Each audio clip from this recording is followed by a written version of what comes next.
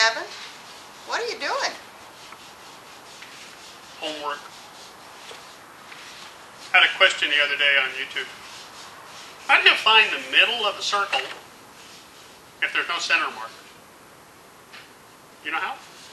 Oh, not yet. Come here, check it out. What you reading there, Kev? Well, if you guys are anything like me and you've been away from school for a while, some of the stuff tends to dribble out and be forgotten.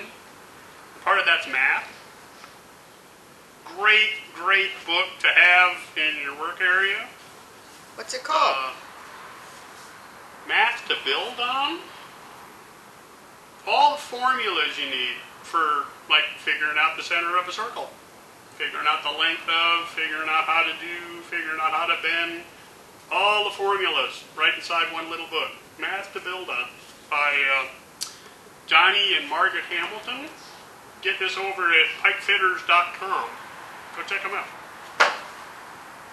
So you want to find the center of a circle? That is right from the book, by the way.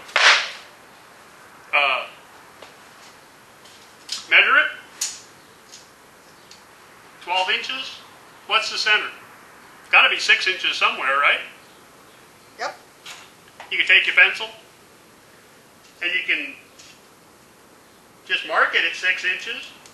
Is that going to tell you right where the center of the circle is? Not yet. Get you another mark at 6 inches. Get you another mark at 6 inches.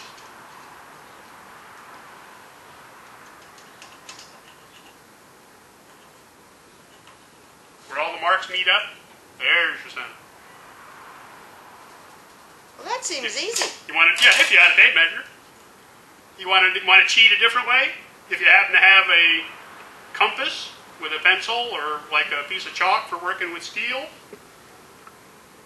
you can get on the outside of your circle and just draw a line. Come over to the outside of the circle, about a third of the way over, a quarter of the way over. Draw another line. One more, just to be sure. Do three of them. Draw a line. Where they intersect, there you go. That easy. The diameter, no, I'm sorry, the diameter, the circumference, if you take the, uh, take the diameter, divide it by 2, you get the radius, and that's that dimension right there, from the outside of the circle to the center. Measure in three ways, where they all meet, there's your center. Okay, class over. Back to work.